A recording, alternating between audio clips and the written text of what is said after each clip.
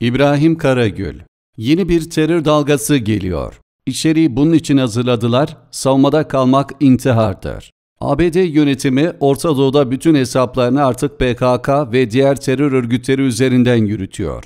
Meşru devletler ve terör örgütleri arasındaki çizgiyi tamamen kaldırdı. Devletleri kaybetti, örgütlere sığındı. Bu artık açık bir gerçek.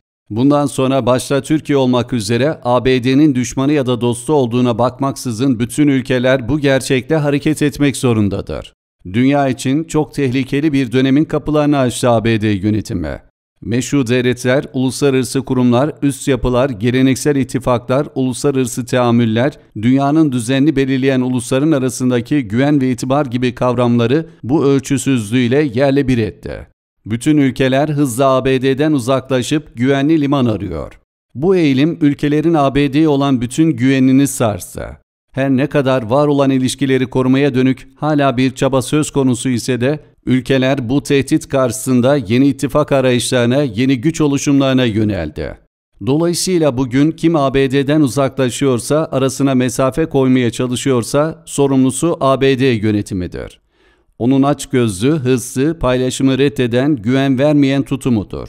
Ülkelerin, devletlerin ve ulusların kendini koruma, kendi geleceğini güven altına alma, uluslararası alanda kendine daha geniş bir yer edinme çabası en doğal arayışıdır. Bu arayış ABD'nin tehditleri ve güvensiz tavırları yüzünden oldukça hızlanmış, inanılmaz bir güçlenme yarışı başlatmıştır.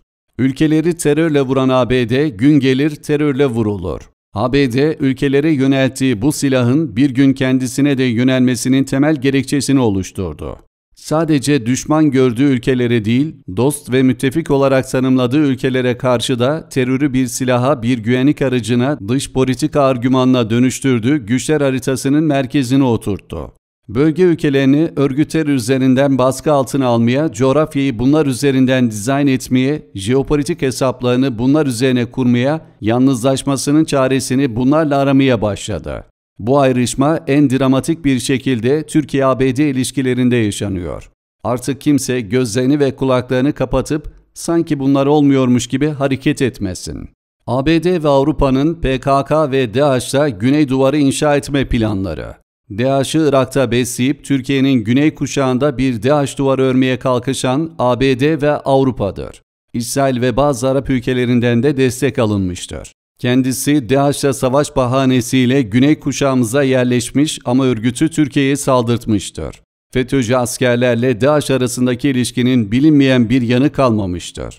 PKK'yı 10 yıllarca Türkiye'nin güney ve doğusunda besleyen, şehirlere saldırtan, Türkiye'yi dar bir alana sıkıştırıp ülkemize yönelik bir kontrol aparatı olarak kullanan ABD ve Avrupa'dır. PKK'yı Kuzey Irak'ta koruyan, Irak'ı işgal ederken müttefik ilan eden, yeni Irak oluşturulurken daha da güçlendiren, bu sefer sınırlarımızın güneyinden saldırılarla Türkiye'yi köşeye sıkıştırmaya çalışan ABD ve Avrupa'dır. FETÖ ile içeriden, PKK, YPG ile dışarıdan vuran ABD'dir. Suriye meselesinde YPG ile bileşenlerini kuran, yetiştiren, eğiten, örgütleyen, silahlandıran ABD'dir. Bu sefer Güney kuşağımızın Suriye bölümünde geniş bir terör örgütü yaratan ve bunu sadece Türkiye'nin güney kapılarını kontrol altına almak için kullanan ABD'dir. FETÖ'yü içeriden darbe için harekete geçiren, FETÖ ile PKK, YPG arasında ortaklık kuran, hepsini Türkiye'yi küçültme amacı için koordine eden, bunun iç politikadaki ortaklık alanlarını oluşturan yine ABD'dir. Benzer terör şantajı uygulamaları bölgedeki bütün ülkeler için geçerlidir. ABD ekseninde hareket etmelerine bakmayın, birçok ülke gerçeği bilmesine rağmen sığınacak alan, kendi güçlerini inşa edecekleri imkan geliştiremiyorsa buna şimdilik suskun kalıyor. Her ülke ABD'nin gücünün dengelenmesini bekliyor. Peki ABD bölgede çöken hakimiyetini Irak ve Suriye'de beslediği, silahlandırdığı, kullandığı, kendince müttefik devlet statüsü tanıdığı PKK, YPG ve DAEŞ üzerinden yeniden inşa edebilir mi? İsrail hariç bölge ülkeleriyle derin bir ayrışma yaşıyor. Bu ayrışma öyle kolay kolay üstesinden gelinebilecek bir kriz değil. Çünkü ABD'nin agresif tavırlarından bunalan her ülke dünyanın yeni güç haritasını okumaya, buna göre konumlanmaya çalışıyor. Bunun için de ABD'nin dengelenmesini bekliyor. ABD yeni terör dalgasına hazırlanıyor. Şimdi yeni bir durum var. Biden yönetime geçtikten sonra ABD yeni bir terör dalgasına hazırlanıyor. PKK-YPG'ye silah ve mühimmat aktarma inanılmaz boyutlara ulaştı. Hava savunma sistemlerinin bile yer aldığı bu takviye PKK'nın da ötesinde bir hazırlığa işaret ediyor. Suriye ve Irak'taki terör yatırımı tamamen Pentagon'a havale edildi ve onlar da kaldıkları yerden yeniden başladılar. Irak ve Suriye'deki terör saldırılarının tırmanması bu yeni dalgaya işaret ediyor. Böyle giderse saldırılar oralarda kalmayacak, şehirlerimize de yönelecek. Muhalif olmaktan değil, ABD'den korktukları için tavır alamadılar. Gara'da 13 insanımızın infaz edilmesi karşısında muhalif partilerin açıktan tavır alamaması bu durumu kamufle etmek için de öfkelerini Erdoğan'a, hükümete, Cumhur İttifakı'na ve Türkiye'ye yöneltmeleri yeni terör dalgasının en büyük işaretidir. Onlar muhalif olmaktan değil, ABD'den korktukları için ülkelerine ve insanlarına sahip çıkıp teröre açık tavır almadılar. Bu da yeni terör dalgası için içerinin hazırlandığının işaretidir. Çok vahim bir işarettir ama bu böyledir. Birileri içeriğimi hazırlıyor. Savunmada kalmak intihardır. Bir kez daha içeride ortam oluşturup dışarıdan ve içeriden terörle vurma senaryosuyla yüz yüzeyiz. Kimler kimlerle ortak, hepsinin tepesinde kimler patron, oyunu kimler kuruyor izliyoruz. Yapılacak tek şey var ve bu asla savunma değildir. Türkiye için savunma dönemi çoktan kapanmıştır. Yapılacak şey tehdidin üzerine yürümektir. 15 Temmuz'dan sonra bütün zaferler bu yöntemle kazanılmıştır. Oyun bozucu tek hareket artık budur. Savunmada kalmak intihardır. İbrahim Karagül Hüseyin Likoğlu Erbakan, Fethullahçılar için 28 Şubat MGK'sında ne dedi? 27 Mayıs, 12 Mart, 12 Eylül, 28 Şubat, 27 Nisan, 15 Temmuz tarihleri vesayet zincirlerinin birer halkası.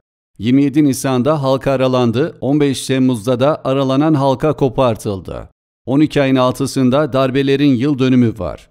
28 Şubat darbesinin 24. yılını da dün geride bıraktık. 28 Şubat'la ilgili hemen hemen her şey konuşuldu. Bir haftadır dönemin mağdurları, şahitleri televizyon ekranlarında, gazete sayfalarında yaşananları bütün ayrıntılarıyla anlatıyor. Bu tanıklar arasında şüphesiz dönemin Başbakan Yardımcısı Tansu Çiller'in ismi çok önemli. Dün Anadolu Ajansı'na konuşan Tansu Çiller, 28 Şubat'ı bir kez daha bütün çıplaklığıyla gözler önüne serdi. 28 Şubat'a sadece bir darbe veya bir iktidar değiştirme operasyonu olarak bakamayız. 28 Şubat Türkiye'nin soğuk savaş sonrası yeniden yapılanma ve yeni bir arayış içinde olduğu konjonktürde gerçekleşti.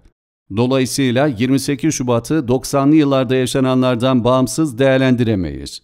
Turgut Özal'ın ölümünden Eşref Bitlis'in uçağının düşürülmesine, Uğur Mumcu suikastından Sivas olaylarına her olayın Sovyetler Birliği'nin dağılmasının ardından dünyada oluşan soğuk savaş sonrası yeniden yapılanma operasyonları olduğunu gözden kaçırmamalıyız. Kasım 1996 yılında meydana gelen Susurlu kazası aslında Soğuk Savaş sonrası arayışları biraz araladı ancak 28 Şubat MGK'sı ile gündem bambaşka bir yöne çevrildi. Susurluk olayı ile ilgili Kutlu Savaş'ın hazırladığı raporun hala kayıp veya gizli kalmış sayfalarına ulaşılamadı. O raporda Fethullah Gülen'in adı geçmişti. O tarihlerde Kanal D'de çalışan Tunca Özkan, Gülen'le bir söyleşi yaparak o iddiayı Türkiye'nin gündeminden yok etti. O tarihlerde Fethullah Gülen'in Doğan Medya'nın televizyonlarını nasıl su yoluna çevirdiğini yaşı müsait olanlar hatırlayacaktır. Elebaşı Fethullah'ın Doğan Medya başta olmak üzere dönemin 28 Şubat medyasının televizyon ve gazetelerinde boy gösterdiği dönemde Fethullahçı gazetecilerle denk geldiğimiz basın toplantılarında zaman zaman tartışırdık muhafazakar insanlara yönelik zulmün dayanılmaz boyutlara ulaştığı, Refah Yol hükümetinin istifa ettirilip Refah Partisi'nin kapatılmak istendiği bir dönemde nasıl olur da Fethullah Gülen bu medyada böyle açıklamalar yapar dediğimde aldığım cevabı hala unutamıyorum. Erbakan bizi MGK toplantısında askerlere hedef gösterdi. Asıl tehlike Fethullah Gülen, siz onun faaliyetlerine odaklanın demiş. Fethullahçı bir gazetecinin yıllar önce söylediği bu sözler hiç aklımdan çıkmıyor. 17-25 Aralık girişiminden beri 28 Şubat MGK'sının tutanaklarının peşindeyim. Rahmetli Erbakan gerçekten 28 Şubat'ta Fethullah Gülen tehlikesine dikkat çekmiş mi? General yapıldıktan sonra Kara Kuvvetleri Komutanlığı İstihbarat Başkanlığı'na atanan, sonra da emekli edilip gözaltına alınınca itirafçı olan Serdar Atasoy, ifadesinde rütbesini 1996 yılında Altunizade Fem'de Fethullah'ın taktığını söyledi. Rahmetli Erbakan'ın 28 Şubat'ta Fethullahçılara dikkat çekip çekmediğini bilmiyoruz. Ancak Serdar Atasoy'un ifadesinden şunu net bir şekilde anlıyoruz ki, birileri irtica ile mücadele adı altında dindarlarla uğraşırken Gülen TSK'da 15 Temmuz darbesini yapacaklara rütbe takıyormuş. Hüseyin Likoğlu